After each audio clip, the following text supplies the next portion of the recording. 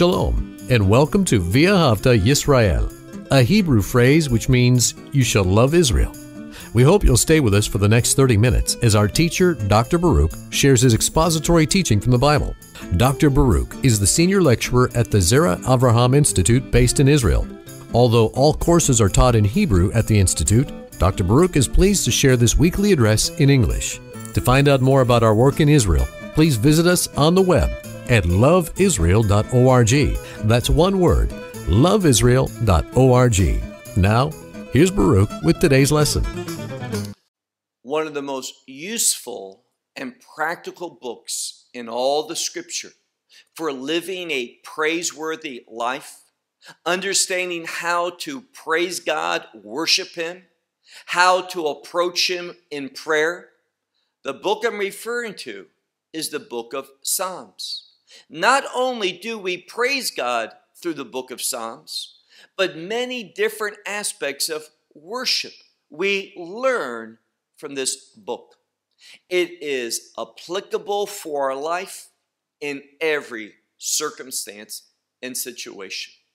Well, with that said, take out your Bible and let's look this evening at Psalm 16, the book of Psalms, and Psalm number 16. Now, we're going to encounter something that's unique. I believe the first time that we've encountered this term in a description of a psalm. In Psalm 16, as we look at the very first verse, it says in Hebrew, Michtam le David. Now, this is what we've been referring to as an inscription it gives insight. It provides sometimes a context for understanding what was going on, for example, in the life of David that, that led him to go before God, seek Him, and receive inspiration for writing down a particular psalm. But here we don't know the circumstances, the situation, what was going on in his life. No, here it's simply a term, and most English Bibles leave it untranslated. It appears as part of the first verse in the Hebrew text.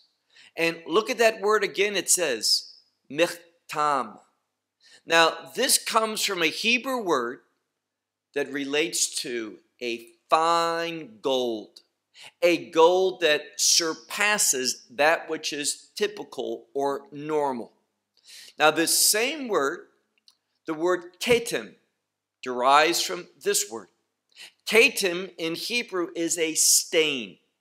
And here's the correlation between these two words. You might say, how can the word stain and a word, that same word, mean a fine gold? Well, here's the correlation. If you're wearing, for example, a white shirt and it gets a hideous stain upon it, you spill something, and that stain stands out. And in that same way, this gold, this type of excellent gold, it stands out, it surpasses. So, whenever we come to a song of David, that is called a michtam. It stands out. We might say in English that it's a gem of a psalm. It is unique, and this one certainly teaches us much about walking with God, having the right mindset, the right perspective, in order once again to live a praiseworthy life before Him. So let's begin Psalm 16 and verse 1. Michtam le David, a gem of a psalm that was written by David. And then he goes on and says, Guard me, O God. And this is a word for keeping, watching over. David's going to reveal to us principles that brings God into our life and causes us to be not only under his authority, but because we're under his authority, we can expect God's supervision, his providence to be upon us. So he says, Guard me, O God, for I, and here's a key, I have taken refuge. It is a word for trusting in. And these two things go hand in hand. It is when we trust God, rely upon Him, depend upon Him, that that faith brings us into a safe place, a refuge with God. So he says, I have trusted in you, or I have taken refuge in you. Verse 2. You have said to the Lord, the Lord, you. Now, that may seem odd, but what it's saying here is this David is speaking, and he's speaking about himself. That, that you have said, that you, O God, are everything. That's the implication. David realizes that nothing should be thought of as separate or unrelated to God. This is false. Everything is related to God. Everything that happens, He wants to be involved in it. Even when we are in disobedience, God wants to be there to lead us to repentance. God wants to teach us or discipline us so we, we regain the right perspective, that we walk in obedience, guided by faith, being mediated to us by truth. Now, what does that mean? Well, to walk by faith, we have to be pursuing and recipients of the truth of God. So, truth mediates faith. If you don't know the truth of God, you can't be in faith before Him. So, in this passage of Scripture, he says, You have said to the Lord, Lord, you, meaning you are everything. My goodness, and this word for goodness is also related to the will of God.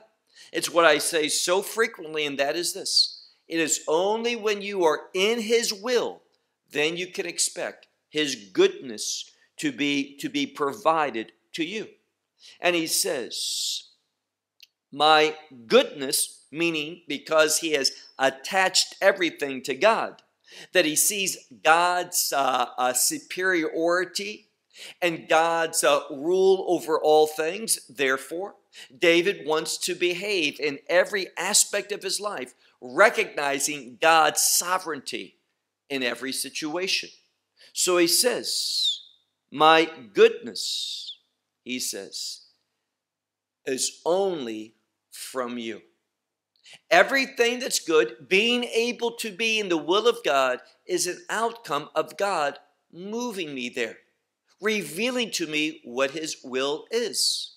So he says, the goodness which relates to His will is only from you. So, over and over, we see how God is connected to all things, everything that happens in our life. If God's not the cause of it, and let me give you an example. When I disobey God, when one sins, God's not connected to that.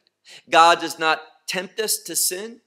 He is not an architect of anything outside His will, but even when we have sinned, God does not want to sever his relationship with us and wash his hands from us. God wants to lead us to repentance, bring us back to him, to, to renew this relationship with him. So, verse 3 To the saints, which is in the land, they are. Now, he's affirming that in the land there are, and this makes it emphatic, there are saints. What are saints? Now, we need to understand this from two vantage points. You normally today, as new covenant believers, followers of Messiah, those who have received the Gospels, we think of saints who are those who have been saved by God's grace, who have received the Gospel. They're the saints, and the new covenant makes that very clear. But as I've said, the term saint which is simply the word holy ones. It's related to the purposes of God. So the saints are the ones in the land that they are carrying out, they are committed to the purposes of God. And then notice how the, the verse concludes. He says, and this is parallelism, we see that a lot in this psalm. He's going to say, Those who are committed to the purposes of God, they are mighty. Now, this word mighty also has a degree of splendor attached to it. They are the mighty ones, and all my delight is in them, meaning this I want to be one of them. David is saying, I want, as I approach God in prayer, as I come before Him in worship, this is my objective. I realize that that, that which is good is His will. And I realize that it's only when I am committed, as the saints are, to the purposes of God, then and only then is God going to supply, and notice the parallelism, there's a connection between the saints and mighty ones. The holy ones are strong ones. Why? Because they're committed to God's purposes and God supplies power. And that's why we see in the second part of this verse that David says, All my desire. This is a strong word for desire, chafetz. All my desire is in them. He wants to be like them. Verse 4. In verse 4, he's going to show a dichotomy. How that perspective that David has, how the saints live, what they pursue, what David desires, how different that is. And it's only when you really pore over the original language, in this case, Hebrew, that you see some very interesting things. If we look now to, to verse 4, they multiply, and this word can be the word for idols. So they multiply idols, but this same root can be related to sadness or grief. And what's the message? The message is very clear. When I pursue idolatry, when I turn away from truth and embrace the desires of a uncircumcised heart, a heart that has not been established, one that has not experienced regeneration through a salvation experience. When that is the case, and I pursue idolatrous behavior, it is going to multiply sadness in my life. And then he goes on in speaking about this, he says, Acher. Acher means another. And here it's a word that's related to as well idolatry. We talk about El Acher, an other God. And if it's an other God, it's no God whatsoever. So this is speaking about those who are pursuing idolatry that goes after, and here's the key quickly. They go quickly with speed after another God. Verse 4. David is saying, even though many do that, he says, I will not offer up a libation, their libation from blood. Now, blood is important biblically. We know that the altar, that sacrificial service of worship that took place in the tabernacle and then afterwards in the temple, blood was foundational. But blood was appropriated properly. There's a very well known pastor in California, and, and he gets it wrong when he speaks about blood. He speaks about the sacrificial service, and he says that it was like a slaughterhouse. Well, in a slaughterhouse, they simply want to get their work done. The blood is not of importance to them. And blood is, is, is scattered all about. Not so in the temple. The blood was always handled in a very precise manner. We see that throughout the Torah. So when someone says that the, the temple service was like a slaughterhouse, that, that they were up into their ankles in blood, that is false. We do not see that in the scripture, and we don't see it in the description of Judaism from a variety of authoritative sources concerning the temple service. No, we see everything was done very orderly, and the blood was handled in a proper, in a scripturally sound way. But we also know that the enemy, remember, we're talking about idolatry, they get things incorrect. And blood was misappropriate, it was misused. In fact, we know today that there is false religions and some drink blood. They, they handle blood incorrectly. They profane that which is, is very significant scripturally to God. So David is saying here, look carefully. David says, I will not offer up their libations from blood, nor will I lift up their names, what names? These names of other gods, false gods, upon my lips. So David is chasing himself and makes a proclamation that he will not be part of anything related to idolatry. Meaning this, he's not going to be about his will, but rather the purposes of God. Learn an important biblical truth when I pursue my objectives rather than hearing from God what His objectives are and pursuing them. It's only when I pray, God, put in my heart your desires. Then we pursue that which is pleasing to God, that which is glorifying to God, that which is related to the purposes of God. But when I go after my will, it leads to idolatry. It leads to a connection to idolatry, false gods, demonic influence. So David says, I will not lift up upon my lips their names, these names of, of idolatry. Verse 5. Why doesn't he do that? He's made a commitment. He says, Lord, and it's talking about that sacred name, the Lord, He is the portion of, of my, my portion. It's two different Hebrew words that relate to a portion. So he's saying, My portion is the Lord. He is my portion and my cup.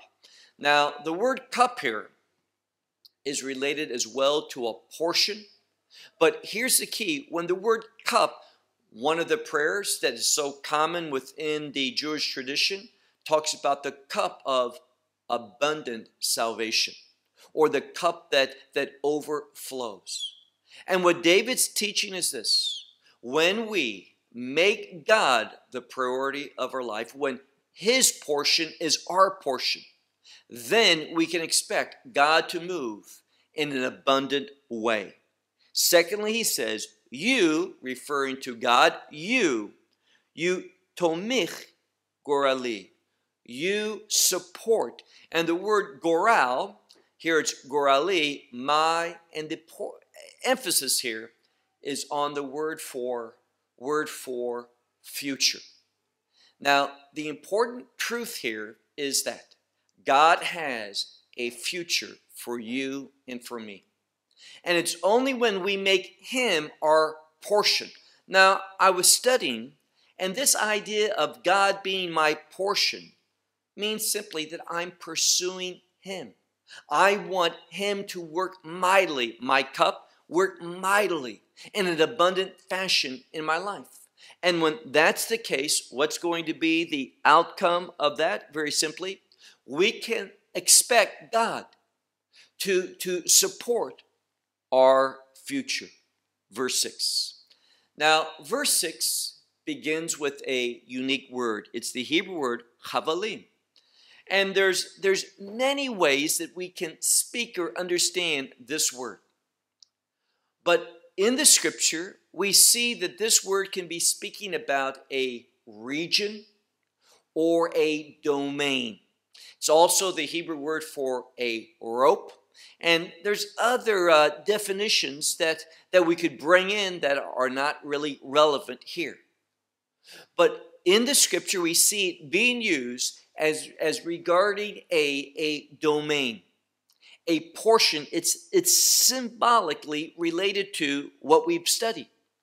And he's saying here, my, and the reason why we can know how to translate it when it's kind of a difficult word is when we go and look at the next part of this verse. Remember, parallelism.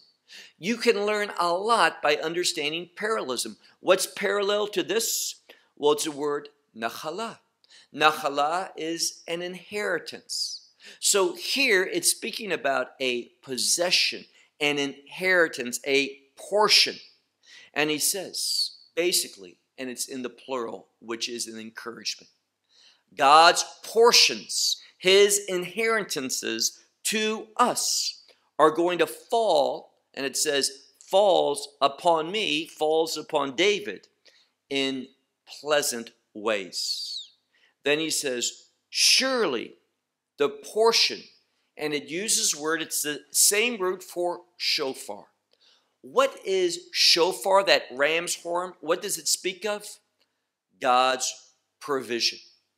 So this verse is saying that David has confidence. David has confidence that he is going to be an inheritor, an heir of, of God's portion, the portion that God has for him. Now, we use the word domain, but it's those things that have been proportion that belong to God's purposes. And that David's going to receive them. They're going to fall to him in pleasantness. And, and surely the inheritance. And here's God's provision is unto me. So, what this is simply say, saying is this that David is going to be a recipient of that which God has for him. And isn't that what we should want? We should want what God has for us. Don't be pursuing what you think's best for you, what pleases your flesh, that, that gives you what you think you have coming to you, what your destiny is. No and no. Be someone who waits upon the Lord, to be a recipient of His portion for you. What He has provided, this is what you will inherit. Verse 7. Now, as an outcome of that, what is our response? He says, I will bless the Lord who, and I love this, who will counsel me. Now, here again, we see another important principle. David is teaching us this. When I hope, my desire is in what God has for me. His will for my life, His purpose for me. When this is my desire, this is my pursuit, when I am committed to this, God is going to move. I will become a recipient and heir of that, and that is going to lead me to bless God. And what else does He say? He who will counsel me. Here's the principle when I pursue my will, God will be silent. And if I hear anything, it's going to be demonic lies. Just that simple. Now, I realize many people, and I get emails, you talk about demons too much. No, the Bible speaks about demons a great deal in the Gospels. Messiah did. And what we find David revealing to us is this when we pursue the things of God, God will counsel us. He will give us insight. He will give us guidance for our life. But when we pursue our own purposes, we open ourselves up to be deceived. And who's deceiving us? Well, we have that deceiver, that diabolical one, the devil or Satan. Same one. And oftentimes it is his servants, demons, that carry out his purposes. So I will bless the Lord who will counsel me. And then he says, surely, or even, and it's a word leilot. What's that? Nights. So in the night, what does God do? God does something. He, and this is a word, some will say discipline, and that's fine, but it's also the same root for the word, well, what we get ethics or morality from. Now, that is a discipline. We are disciplined to be ethical people, to be moral people. And what God is saying here in this psalm from David's writing, look at it again. He says, In the nighttime, isn't it marvelous and wonderful that God can work spiritually in you while you sleep? The one who keeps you never slumbers nor sleeps. So in the nighttime, surely in the nighttime or even in the nighttime, what does God do? God will, and it's a word, kiliotai. It's, we would translate kidneys, but in the Bible, the word kidney has a much greater significance. We're not talking about organs in the physical sense. But, but the word kidney, kliot, biblically speaking, and traditionally within Hasidic Judaism, speaks about a, a seat of wisdom, a stronghold of knowledge. So God is going to counsel us, and in the night, He is going to move to impart to us that which is ethical, that which is moral, and of course, from his vantage point. Without his ministry, his workmanship, the Spirit, the Holy Spirit edifying us, we won't know that which is ethical and moral from God's standpoint. Verse, verse 8. Shiviti Adonai le nagdi temid, which means I've cried out to the Lord. Before me, meaning he's before me, continuously. Or he who is before me, I cry out to him continuously. Now, this can also, the word negdi can be before, but also those who are against me. So it can be understood, I cry out to the Lord because of those who are against me. How often do I cry out? All the time. So, Shiviti Adonai le nagdi temid for my right hand will not uh, uh, stumble or collapse, will not be moved. And here it is this word right hand can relate to that which is the seat of integrity. And it's integrity. See, Messiah, he can be thought of as the right hand. He sits on the right hand of God, but many places in the scripture, speaks about the right hand of the Lord. And, and that right hand accomplished majestic things. And some see it as a reference to the work of Messiah. Well, here, what it's saying is simply this look carefully.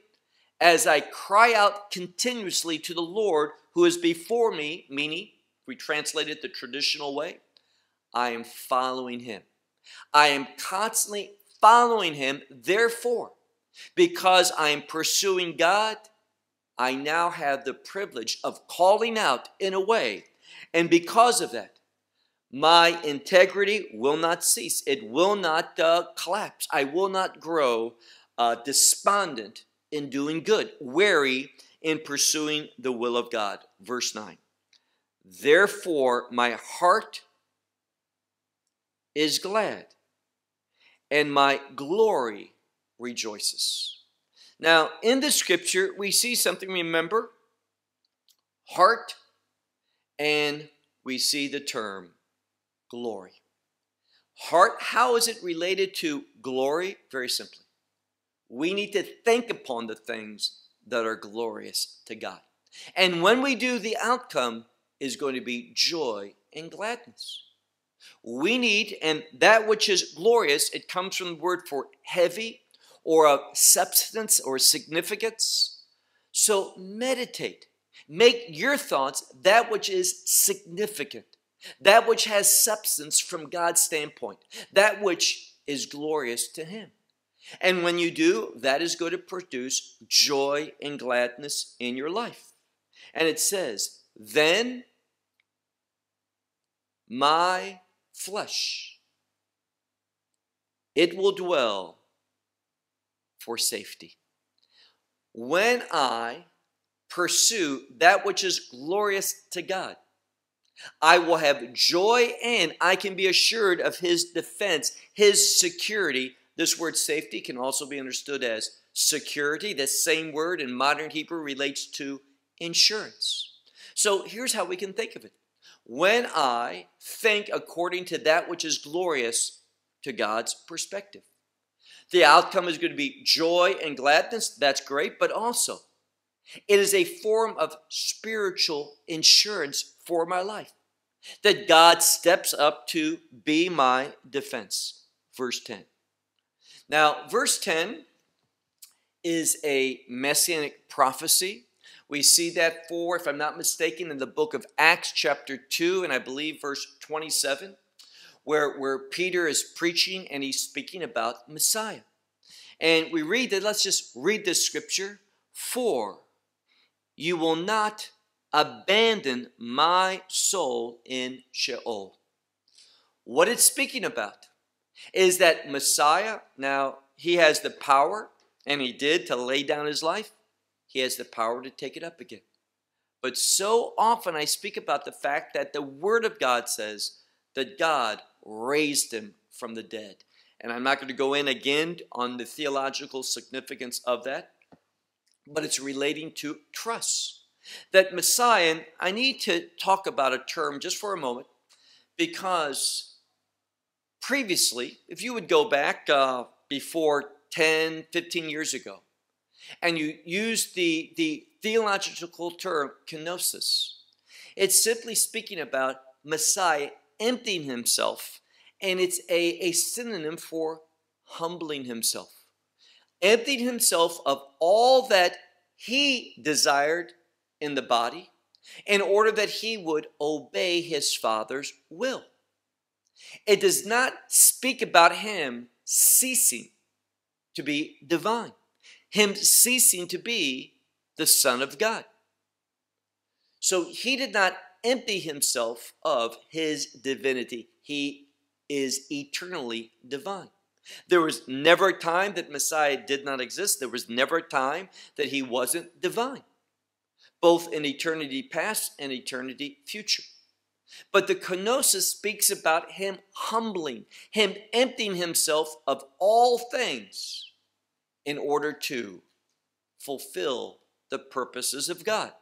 The best example of this is found in, well, it's mentioned in Philippians 2, the basis for it, but in the garden when Messiah says, Not my way, but your way.